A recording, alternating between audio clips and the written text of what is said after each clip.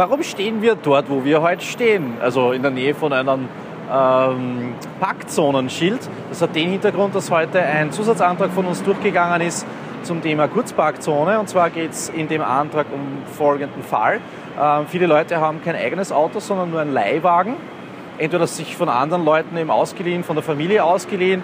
Das eben auch nicht dauerhaft, sondern vielleicht gerade einmal im Winter für einen Monat oder für zwei Monate.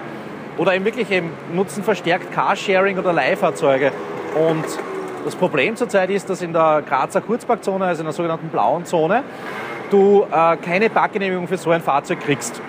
Und es gibt eben immer mehr Menschen, die, das, die einfach Leihfahrzeuge nutzen. Und deswegen haben wir gesagt, wir möchten auch für diese Menschen, äh, für diese Leute einfach eine Möglichkeit schaffen, dass die äh, Parkgenehmigung bekommen. Und dieser Zusatzantrag ist heute durchgegangen. Und es soll bis im September nachher die Abteilung einen Vorschlag liefern, wie das dann abgewickelt werden kann.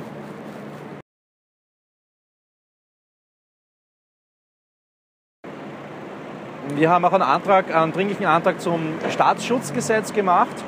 Ähm, Ziel war, äh, dass das aktuelle Vorschlag eben abgelehnt wird und wieder äh, in die Beratungsphase sozusagen zurückkommt und dass eben auch bei einer Neugestaltung dann NGOs und, und kritische Bürgerstimmen gehört werden. Ähm, der Antrag ist leider nicht durchgegangen, ist von äh, ÖVP und SPÖ abgelehnt worden mit der Begründung, dass es zurzeit im Hintergrund eh bereits Verhandlungen gibt zu einer neuen Version und dass in der neuen Version bereits viele Kritikpunkte, die wir ähm, genannt haben, schon bearbeitet worden sind. Deswegen ist der Antrag leider nicht durchgegangen.